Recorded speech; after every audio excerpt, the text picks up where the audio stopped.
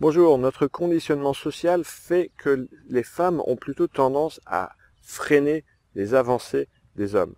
C'est-à-dire que vous, vous avez envie de conclure, vous avez envie de concrétiser, et la femme en face, bah, bien souvent, elle va vous freiner en disant par exemple, ça va trop vite.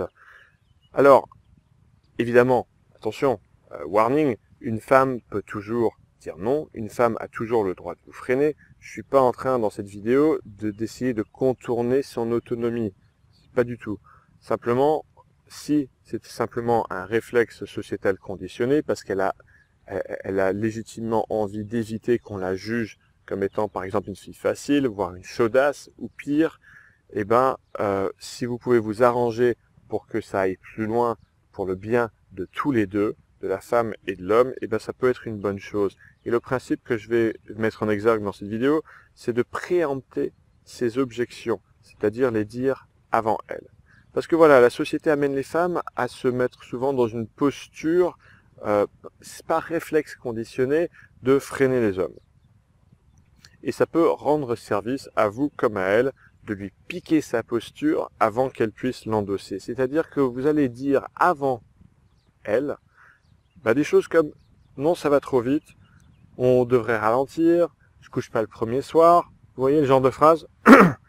Par exemple, bah, c'est vrai que je me suis souvent amusé à piquer ce cadre typiquement féminin avant que la femme puisse se mettre dedans. Et le secret, c'est de progresser quand même, c'est d'avancer quand même, parce que si vous ne faites que lui piquer son cadre et, freiner à sa place, bah, les choses vont doublement freiner. Donc l'astuce, c'est que oui, vous freinez verbalement avec vos mots, mais en attendant, vous progressez par votre attitude et vos comportements. C'est-à-dire que vous pouvez chuchoter que ça va trop vite de façon très chaleureuse à son oreille. Et donc vous, vous êtes en train d'avancer avec votre non-verbal pendant que vous freinez avec votre, votre verbal. D'ailleurs, ça fait un effet chaud-froid euh, assez délicieux.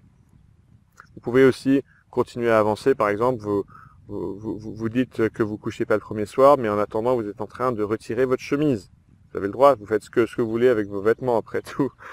Alors, euh, attention, drapeau orange, je, je dirais le garde-fou ici, c'est que ceci va faire avancer les choses seulement si c'est une objection purement symbolique et un réflexe sociétal. Évidemment, une femme qui a vraiment envie de freiner les choses, eh ben, elle le fera, et ça se respecte en toutes circonstances, et vous le sentirez par sa tonalité. Vous sentirez qu'elle n'est pas plus en train de sourire, qu'elle n'est plus en train de rigoler. Euh, parce que dois-je rappeler que la danse de la séduction, c'est quelque chose qui se fait à deux, comme toute danse, et euh, on ne conçoit pas la séduction sans la complicité de l'autre. Je vous dis à bientôt. Au revoir.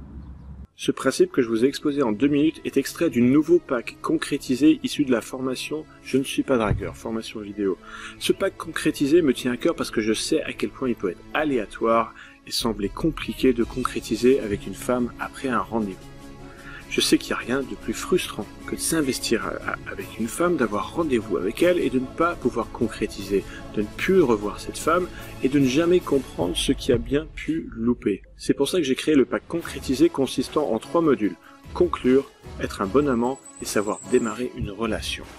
En tout, plus de 6 heures de vidéo, plus les bonus. Ça vous intéresse d'augmenter massivement votre taux de concrétisation Pour en savoir plus sur cette offre et pour en découvrir le prix, rendez-vous sur la page de présentation dont le lien est dans la description. Au revoir et à bientôt.